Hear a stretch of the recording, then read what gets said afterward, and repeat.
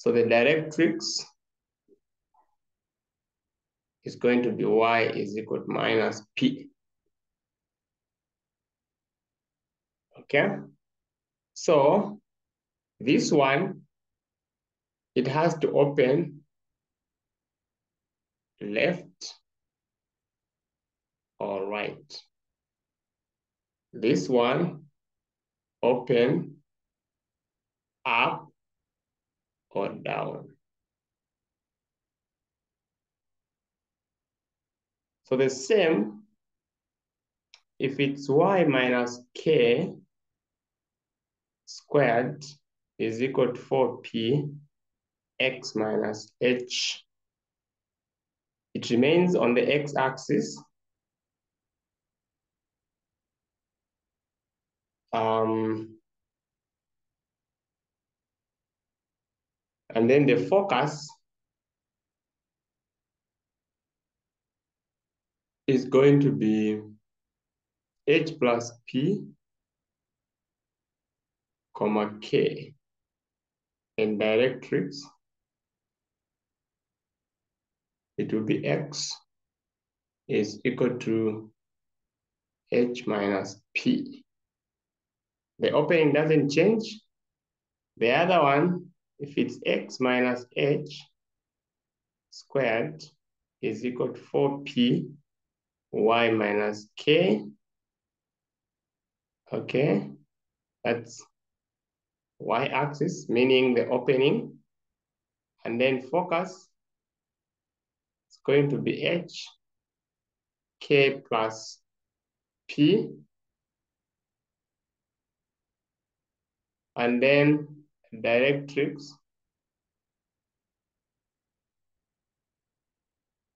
uh, y is equal to k minus p. like that. So that's for the parabola. Uh, let me bring in one for the for the ellipse. That's for the parabola. Then for the ellipse.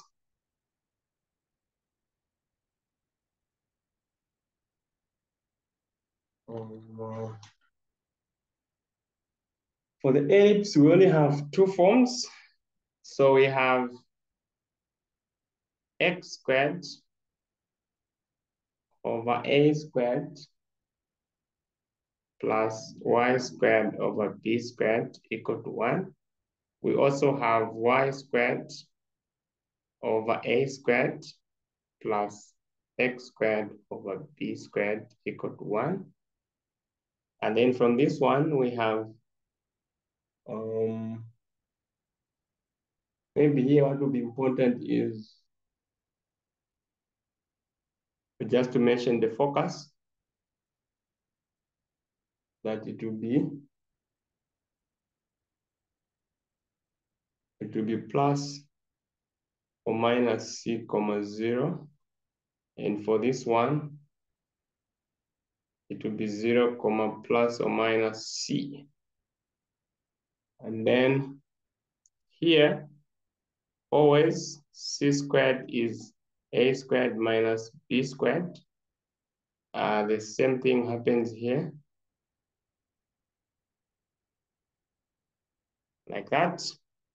Then maybe if we have this type, x minus h squared over a squared plus y minus k r squared over b squared equal to 1. Then we'll have the interest is in the focus.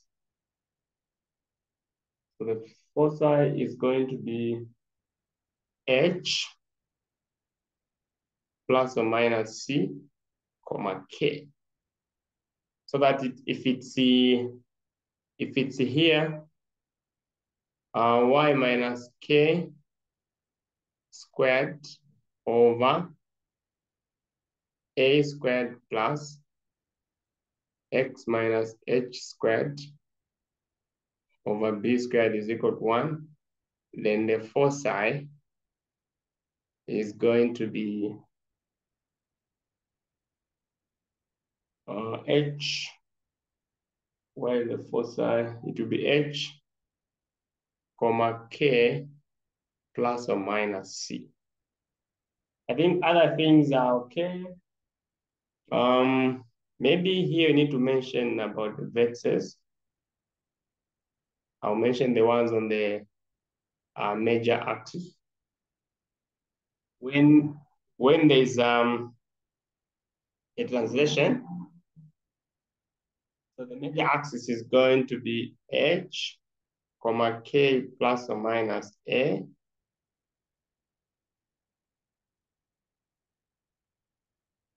Uh-uh, I've switched them.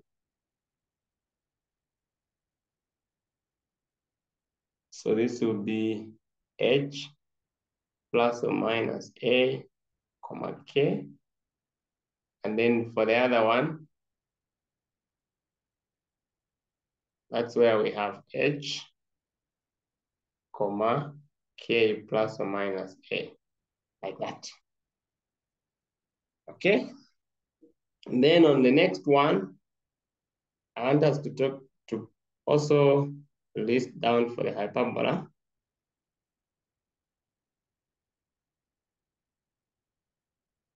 What are the key most things here? So we have two. The first one,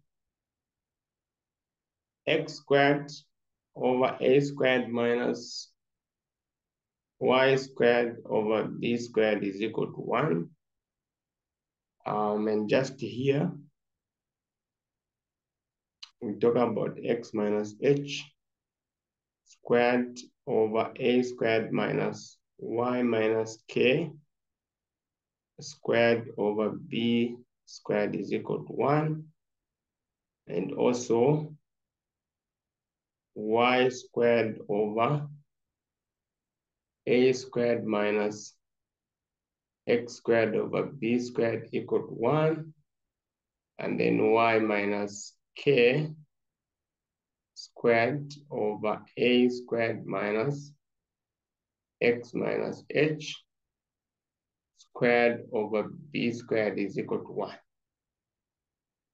So those are the four that we expect. And what's uh, what are the properties? Um, maybe I'll go straight to the foci.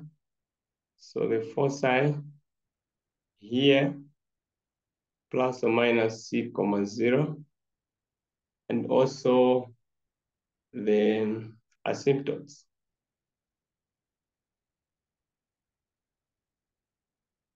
That is y is equal to plus or minus b over a x. And for the other one, here, the foci is uh, 0, comma plus or minus c. And then directrix plus or minus a over bx, like that. Then for the translated ones, uh, the focus, other things, not much. The focus is going to be h plus or minus c, comma k, and then asymptotes, asymptotes,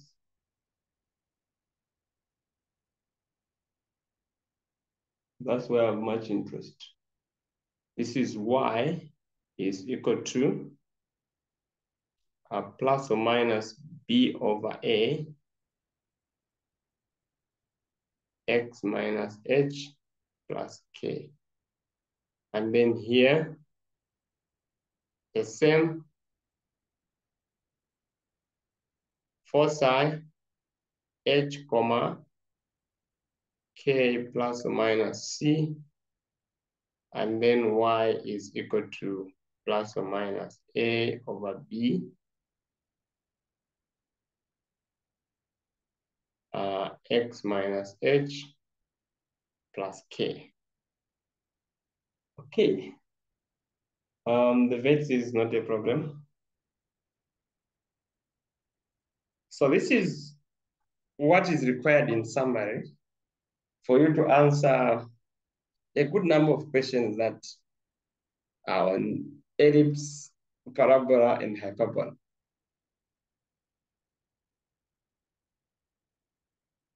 So now I open the tutorial sheet. Um,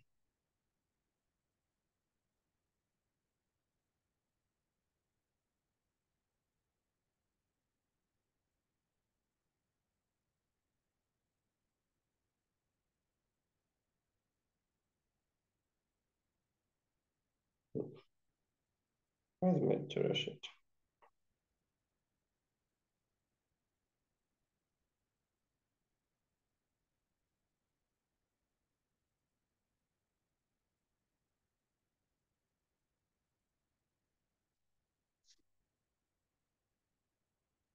So let's pick examples from here.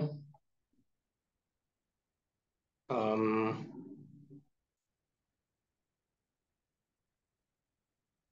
examples.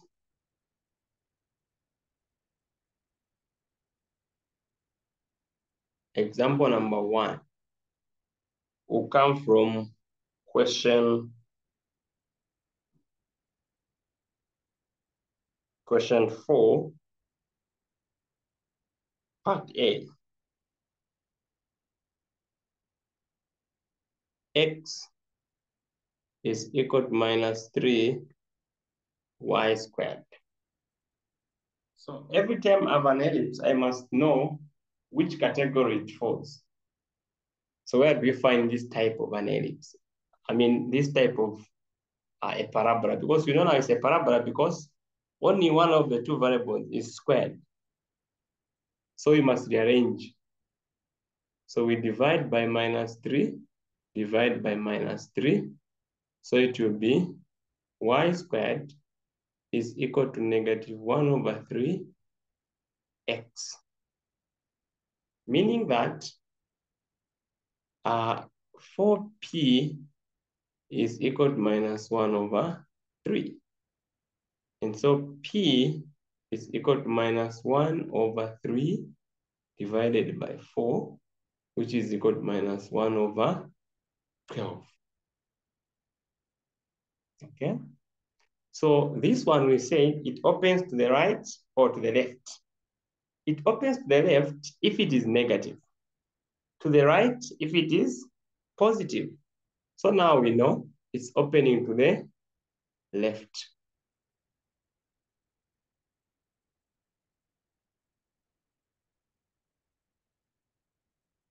So now we know it's opening to the left. And because it's y squared is equal to minus 1 over 3x, it means that the vertex is at 0, comma 0.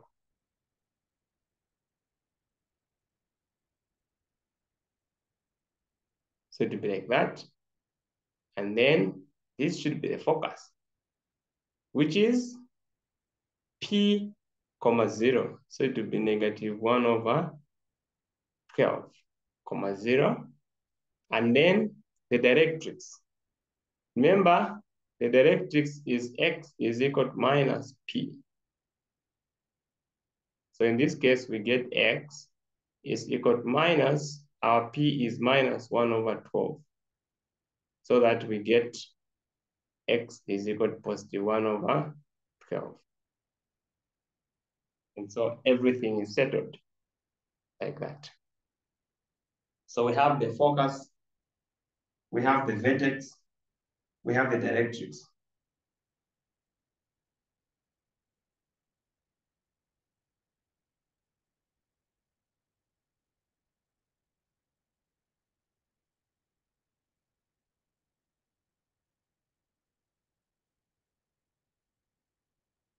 Mm -hmm.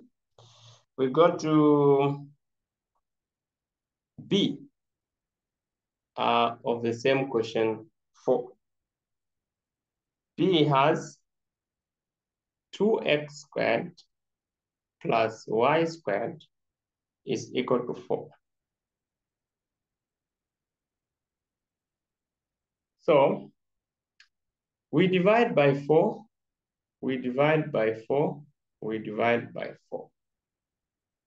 We do this if the coefficients of x squared and y squared are not equal. So we'll have x squared over 2 plus y squared over 4 is equal to 1. That's what we get. And so, remember, there was this condition uh, here. This is the, the ellipse. When we are saying C, when we are saying C is equal to A squared minus B squared, there's a condition that A is the one that is bigger than the other. Okay?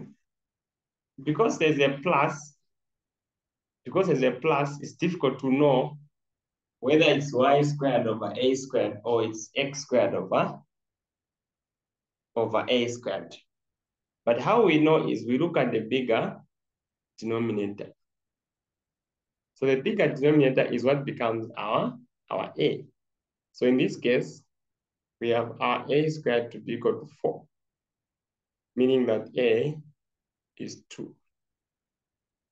And so B squared is equal to 2, so that our C squared will be A squared minus B squared, which is 4 minus 2, and we get 2. So C is plus or minus root 2. So that our focus is then um, so this is on the Y. So it means that the focus is going to be zero, comma, uh, zero, comma, plus or minus the root of two. And then we have the sketch. So once I have the focus, then I can easily sketch.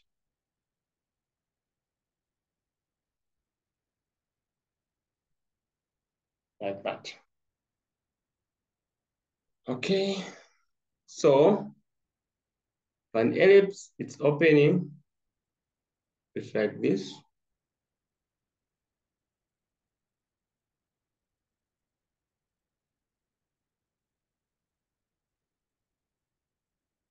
So it's like that.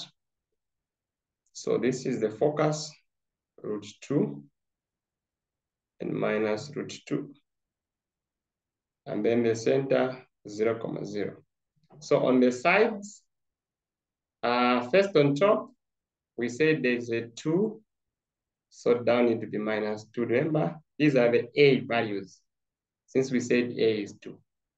And so B, since B squared is 2, it means that B is equal to the root of 2. So we have root 2. We also have negative root 2.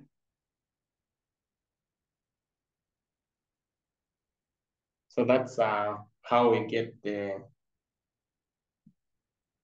that's how we get there. the ellipse. So how I know whether it's located on which axis, I look at the bigger number.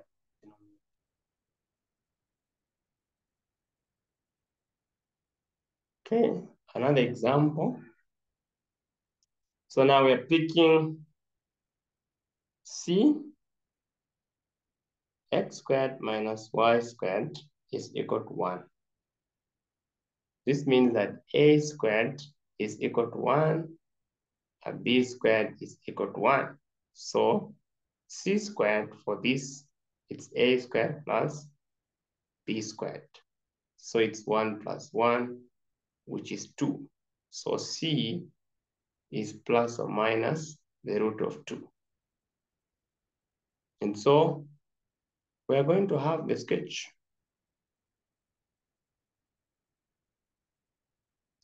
For what? for the hyperbola. So the vertex, uh, this one has the center, 0, comma 0. And then A is 1. So at negative 1 and at positive 1, we'll have the vertices. So it's on the X, but because the Y part has a negative. This is what we have. And then the reason why we found C so that we can know the, the focus. So this is minus root 2 and plus root 2. So one more important thing for the hyperbola is that we must have the asymptotes. Which we said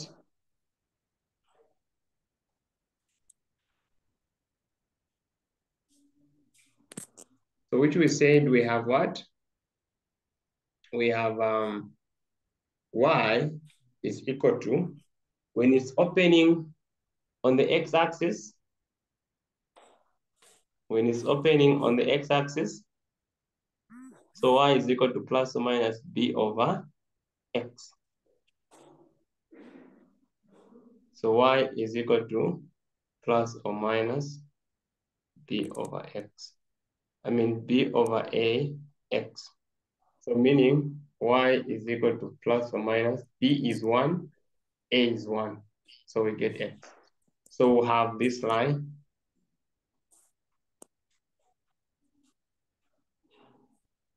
Or this line.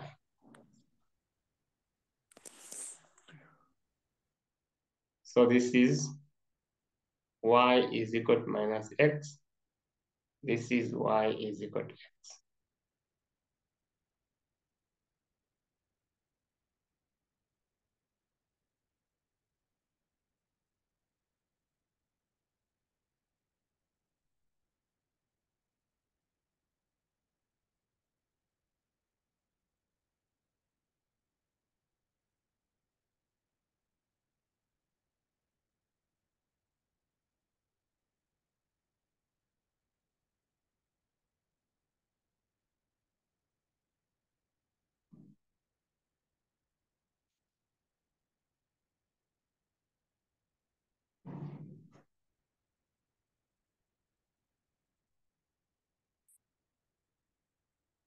Okay.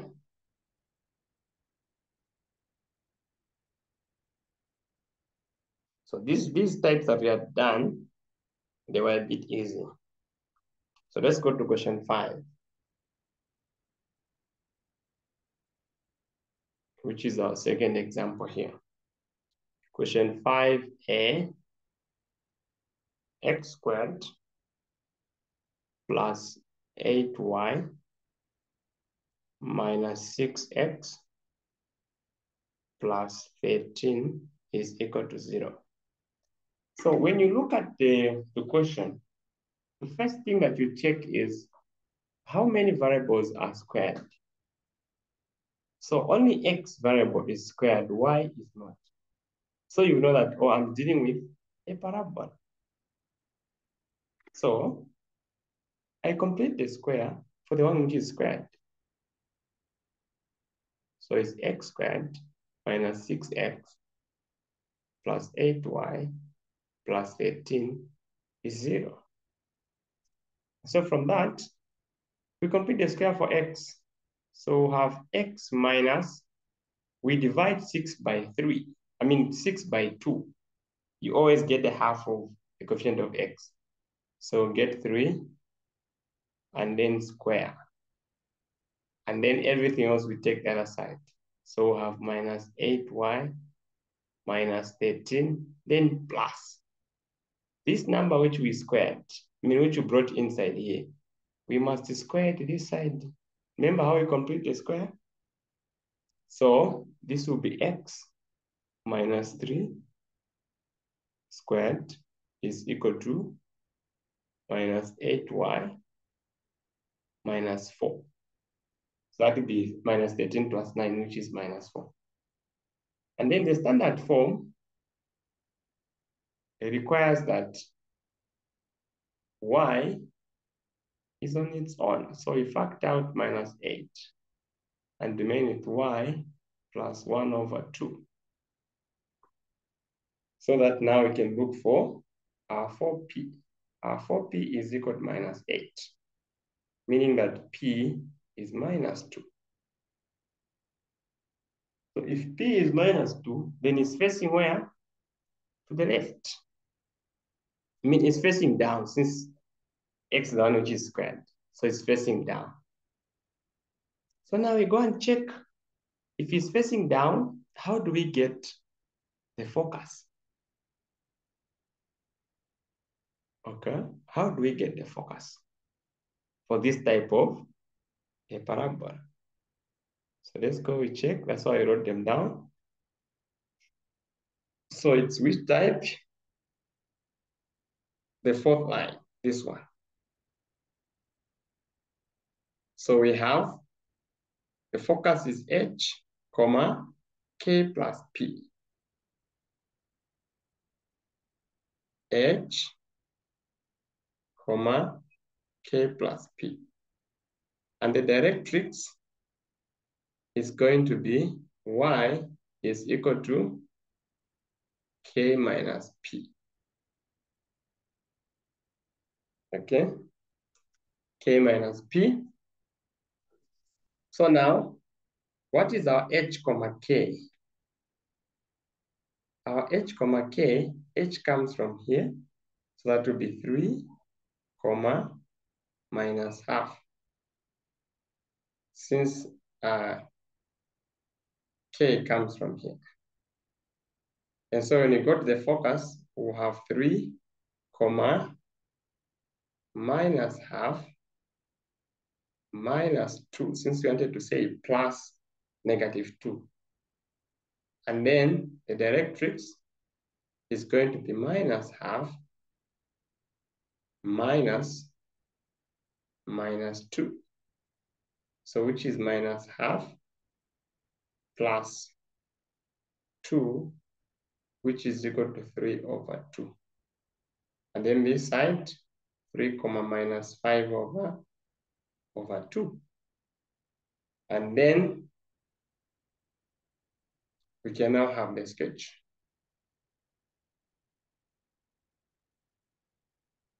So we have the vertex at 3, comma, minus half here. And then we have uh, the focus minus 5 over 2 here. So this is going to go this way.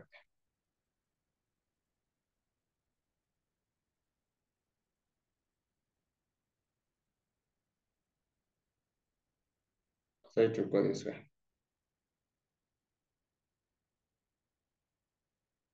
Okay. And then the directrix will be up there. Since it's y, uh, this is y is equal to 3 over 2. So this is 3 over 2.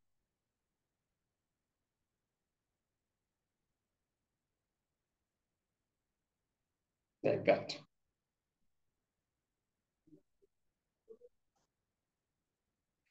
So that's how you, that's how you do things.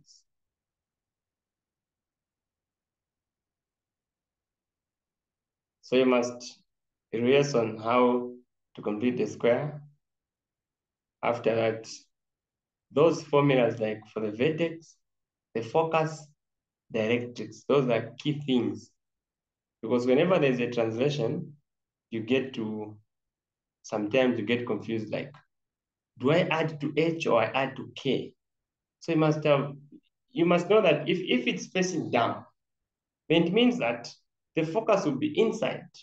So for it to be inside, it means that the, the, the coordinate for X will remain fixed. What will move are the coordinates for Y. So what moves is where you add or subtract.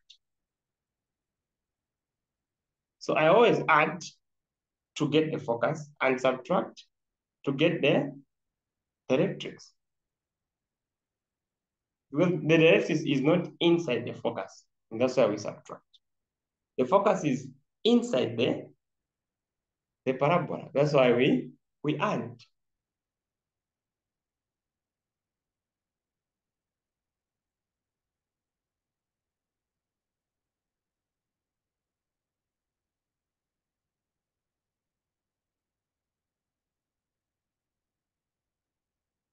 Okay. Let's go to part B. Part B is 2x squared plus 2y squared minus 28x plus 12y is equal to minus 140. So if I divide by 2 throughout, I'm getting x squared minus 14x plus y squared plus 6y is equal to minus 57. And then we complete the square for x and also for y.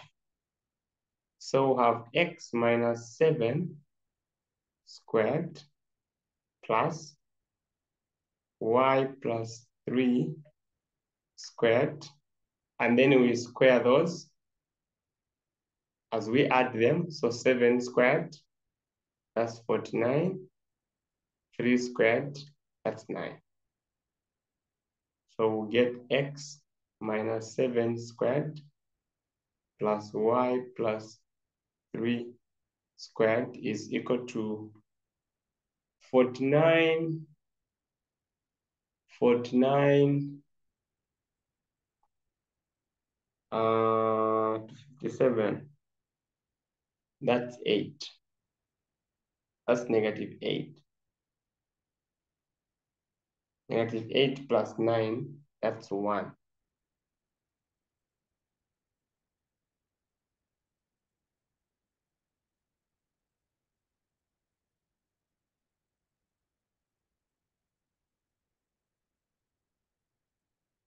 Yeah. So it means that what looked like an ellipse has turned out to be a circle. So how do I know if it's an ellipse or it's a circle? I look at the coefficients of x and y.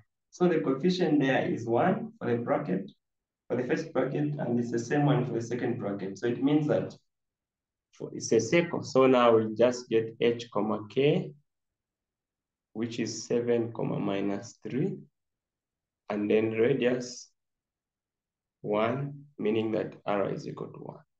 So we can have this sketch.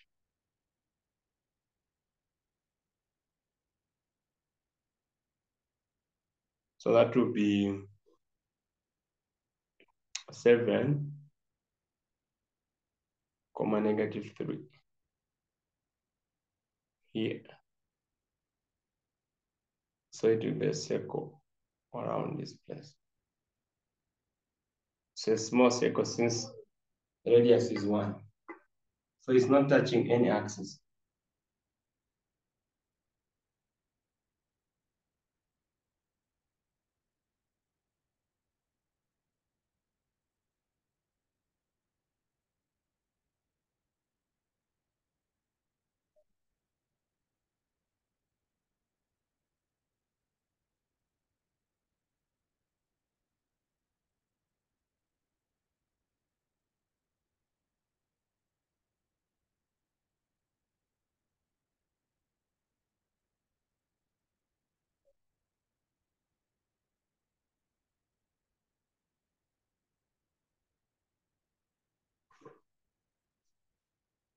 Okay. Unless there are any questions.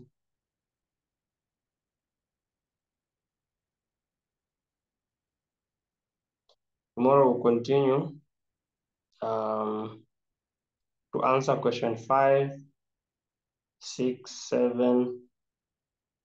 I think we should do five, six, seven, one, two, and three. Before you can start looking at the eccentricity part.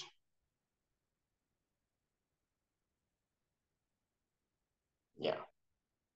So we're not missing any class, so make sure that every day you attend the class. That we keep moving together. So this will be enough for today. Bye-bye.